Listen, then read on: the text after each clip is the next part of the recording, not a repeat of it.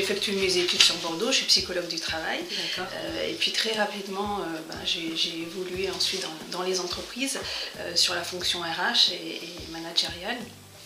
Et puis euh, j'ai ensuite euh, eu envie de créer ma propre structure. Donc dans un premier temps, en 2006, j'ai créé un premier cabinet avec un associé.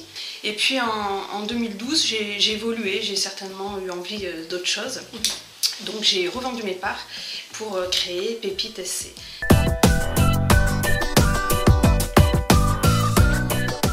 Aujourd'hui, nous, nous, évoluons et nous intervenons auprès des entreprises sur des domaines plus classiques euh, tels que le recrutement, tout ce qui est mobilité, gestion de carrière et accompagnement RH. Mais notre euh, particularité, notre spécificité euh, se situe davantage sur le management.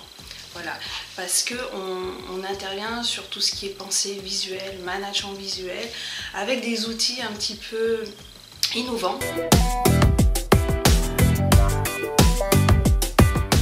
Alors on intervient auprès de toute typologie d'entreprise, aussi bien des grands groupes que des, des start-up.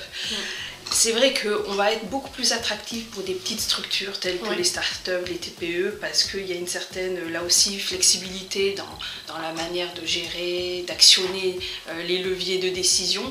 Euh, mais on, intervient plutôt sur euh, tout ce qui va, tout, tout le management collaboratif auprès des, grosses structures.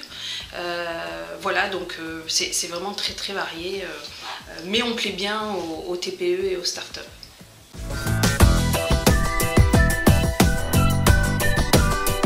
Alors, euh, l'économie de Bordeaux, je trouve qu'elle bouge, elle est dynamique, euh, notamment sur le, pôle numérique. Euh, il y, a un vrai, focus sur toutes les activités et les entreprises innovantes qui, bah, qui sont liées souvent avec le côté digital, donc avec une volonté voilà, d'accompagner des nouvelles entreprises, de nouveaux projets. et puis, moi, je trouve que, que ça bouge. En tout cas, ceux qui ont envie de, faire avancer les choses ont leur place.